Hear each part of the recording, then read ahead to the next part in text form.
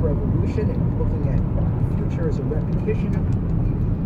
the traumatic and conflicted events of the French Revolution. The second is his view of capitalism, which is that of the early years of capitalism in Great Britain,